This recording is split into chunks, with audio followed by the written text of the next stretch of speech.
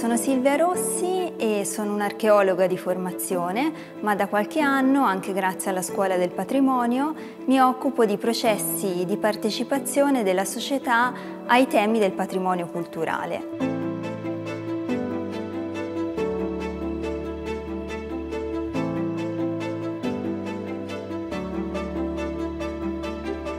Nel 2020 stavamo apprestandoci a organizzare tutti gli eventi e anche diciamo, le attività legate ai dieci anni di iscrizione del sito seriale I Longobardi in Italia e i luoghi del potere nella lista del patrimonio mondiale.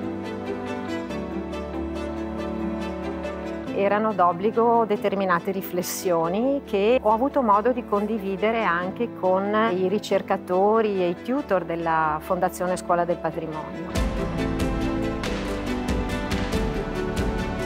Uno di questi temi molto forte per noi era la difficoltà di rendere i cittadini partecipi e profondamente consapevoli dei valori del loro patrimonio.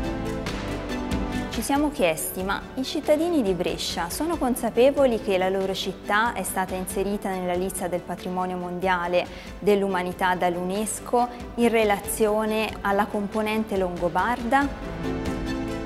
Con il progetto abbiamo cercato di rispondere a questa domanda scattando una loro fotografia mentale, chiedendo quindi in maniera un po' inusuale eh, cosa significassero per loro certi contesti come questo bellissimo in cui ci troviamo e cosa ne sapessero al riguardo.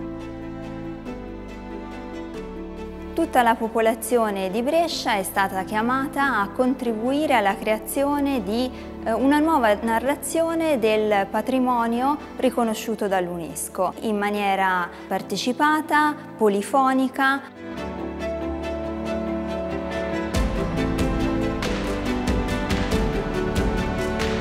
Hanno partecipato bambini dai 6 anni in su sino a ottantenni. Tutti i partecipanti hanno contribuito con noi alla creazione di una serie di eh, racconti, eh, di oggetti parlanti e alla creazione di podcast musicali che segnano i confini della zona UNESCO di Brescia.